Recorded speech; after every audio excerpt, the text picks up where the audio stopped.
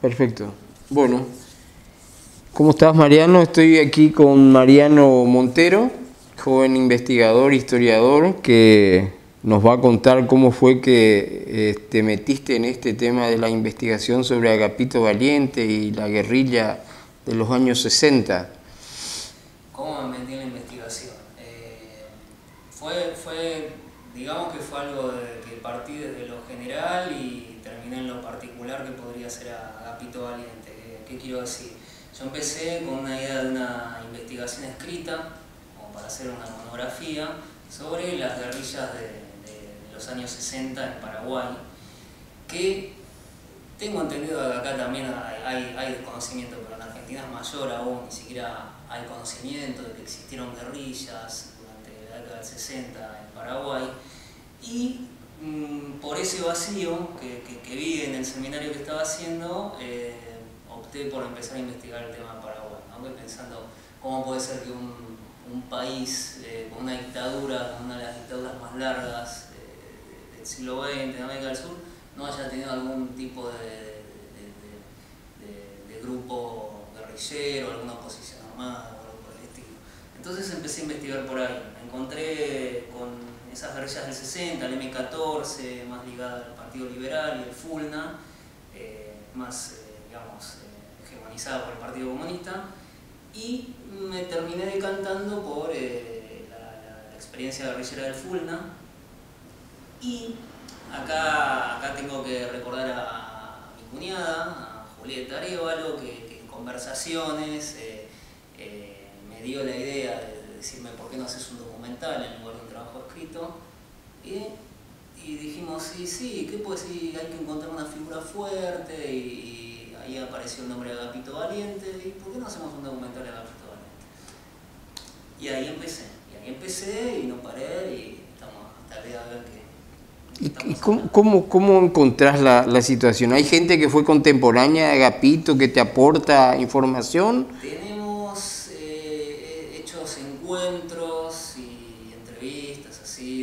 de primeros, primeros, eh, primeros encuentros tanto con familiares, familiares que por una razón de edad los llegaron a conocer en sus primeros años, familiares que, por ejemplo, sobrinos nacidos, por decirlo en el año 59, que que cuando lo matan a Agapito, ellos tenían 11 años nomás, pero que tienen una historia de, cómo reconstruyeron esa historia de, ese tío, tío Arturo, dicen ellos, ¿no? Eh, hay que aclarar, ¿no? Estamos hablando de Agapito Valiente, cuyo nombre real era, Arturo López Areco, y e, ellos se refieren a su tío como tío Arturo, y cómo ellos se van dando cuenta que, que tenían un tío especial, tenían un, tiro, un tío misterioso, del cual no se podía hablar, eh, y que sus propias madres, las hermanas de Agapito, que, una parte de, Agapito tuvo nueve hermanas, pero hay un grupo de cinco hermanas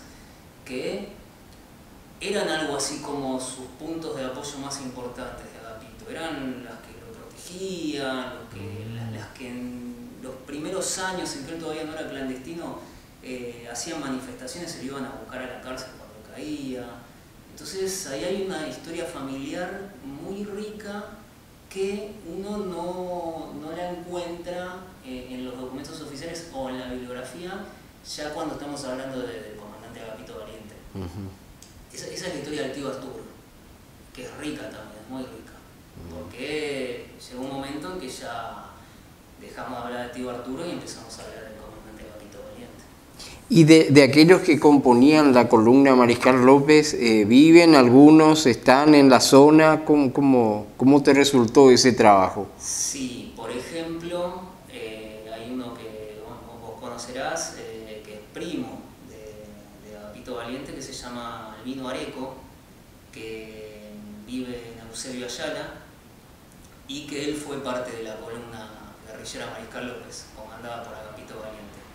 Y es un testimonio fundamental, junto también al de, al de que fue el tercer comandante de la columna guerrillera, eh, el único comandante vivo actualmente, ya muerto Capito y muerto Celso Ábalos Campo, que era el segundo comandante, que se llamaba Romil, se conocía como Romilio López, el verdadero nombre de él es eh, Romilio González, si mal no recuerdo, eh, que vive alejado, casi, casi, como, casi como un ermitaño en, una compañía llamada Potrero Culto, ahí por la zona de Cordillera también, eh, que es fundamental también el testimonio de él.